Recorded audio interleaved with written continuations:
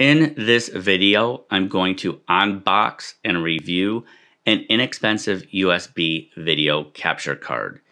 You can tell the box is super small. I'm having a little bit of a difficult time getting it open. But there we see the actual video capture card. It has a user manual. It was packaged pretty decent, I guess you could say. As you can tell, this is just USB to HDMI. There's no composite, component, or S video for this particular product. There were no drivers with this, but this particular product doesn't really need any drivers. Since this USB capture card doesn't have composite and S video, I decided to buy a converter. I bought a Tendak converter. It will convert composite and S video to HDMI. We're going to look at the results now. First, I'm going to test it out with the Windows camera utility. It might appear bright, but this was overexposed on the VHS tape itself. The quality looks decent. The blacks aren't totally getting crushed. The whites aren't totally blown out. But if you notice on the right hand side, the video is distorted.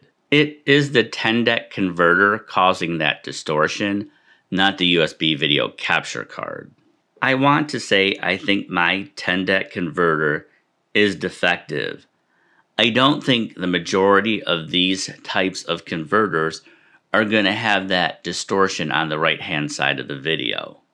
I tried this combination to do game capture, and as you can tell, the right hand side is still distorted when you're doing game capture, you want to make sure that the aspect ratio is correct as well as the resolution. I am now using OBS Studio. Some of you might think it's too bright. OBS Studio does give you controls to make it look brighter or darker. That being said, even if I captured the video as is, I could color correct it with Premiere Pro, Final Cut Pro 10, or Avid.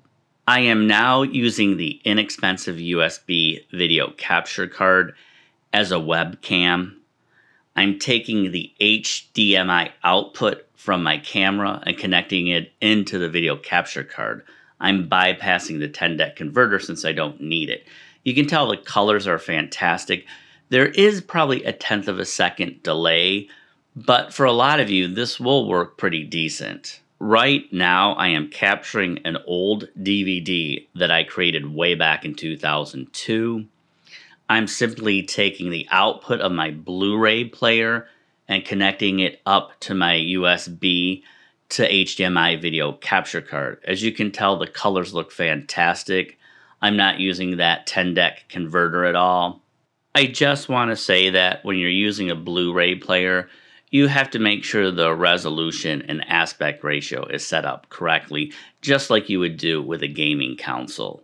Pretty easy to set up on most Blu-ray players. Your TV has these options as well. Right now I'm playing a store-bought DVD. I'm going out the HDMI port of the Blu-ray player directly into the USB to HDMI video capture card. The colors look fantastic. It looks just like it would if I connected it right to the TV.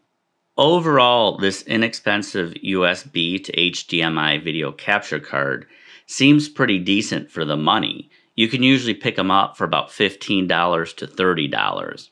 Is this inexpensive USB capture card, when combined with a converter, a better solution for most people than the Intensity Shuttle or the ADVC 110? I'll have more videos over the next two to three weeks doing a better comparison between all of these products.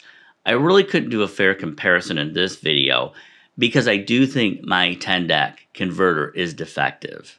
If you would like to see an in-depth comparison between all the products as well as some OBS tutorials, simply subscribe to my channel.